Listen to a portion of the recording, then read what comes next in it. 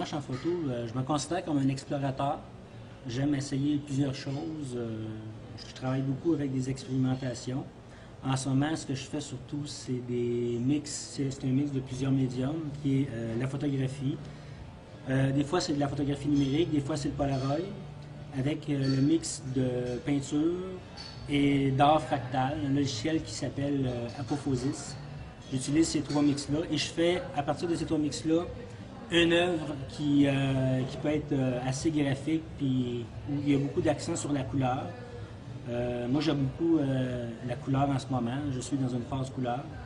Des fois, je suis dans une phase noir et blanc, mais en ce moment, je fais beaucoup de couleurs. Ce qui est le fun de travailler avec plusieurs médias, c'est que c'est intéressant. L'ordinateur me sert de rassembleur dans, dans mon œuvre. Ce que j'aime beaucoup en ce moment, c'est le, le sujet des muses, des femmes. Ce que j'aime du Polaroid, c'est euh, l'aspect euh, œuvre unique. On fait une photo, euh, on ne peut pas en avoir deux pareils, même si on pèse deux fois. Et moi, après ça, même si c'est dans un petit format, ce qui est intéressant, après ça, on, peut le scanner. À partir du scan, on travaille, mais l'œuvre originale, souvent, ce que je fais, c'est que je la garde parce que c'est Polaroid, mais c'est très fugace. Les colorants qu'il y a là-dedans sont très fugaces si on, laisse ça trop longtemps, ben ça s'évapore, l'image s'évapore. c'est ça qui est intéressant en même temps du Polaroid, cette espèce d'œuvre unique. Un projet qui me tient à cœur aussi euh, en ce moment, mais j'ai l'impression que ça va être un projet de, longue haleine, c'est j'ai commencé à travailler sur euh, les orphelins du Plessis. Euh, tout le monde sait c'est quoi, ça a fait partie de l'histoire du Québec. Euh, c'est un travail qui n'est pas euh, de longue haleine parce qu'on rencontre les gens, puis euh, des fois on rencontre les gens, puis on n'a pas de suite, on fait même pas de suite les photos, fait que c'est comme pas évident et c'est souvent à l'extérieur de, la ville. Et c'est ça, c'est que ça a commencé en 2016, j'étais à Saint-Ferdinand, puis c'est là que j'ai j'ai, j'ai été sur les lieux d'une espèce de, de place, une espèce d'hôpital des enfants du Plessis.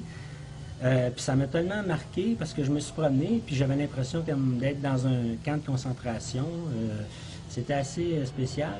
Le but de ce projet-là, bien évidemment, c'est j'aimerais publier un livre parce que ça fait quand même partie de notre histoire, ça fait partie de l'histoire du Québec. Puis c'est pas évident non plus de rencontrer les gens. C'est des gens qui ont été blessés.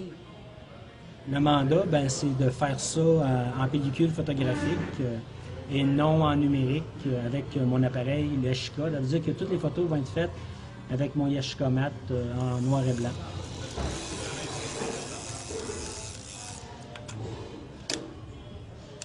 C'est jouissant. C'est un appareil à pellicule. Ce qui est intéressant de cet appareil-là, ça fait des photos carrées. Faire des photos carrées par rapport à des photos rectangles, ça donne un autre monde, ça donne une autre vision. Puis euh, c'est un appareil euh, qui, fait des très belles photos. Puis quand je fais des photos avec ça, on dirait que je prends plus mon temps que quand c'est en numérique. On dirait que j'analyse plus euh, mon cadrage.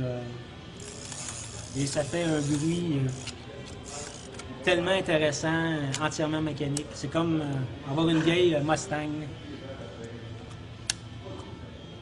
Mois de, mois de mars, euh, je vais exposer au Belgo à Montréal.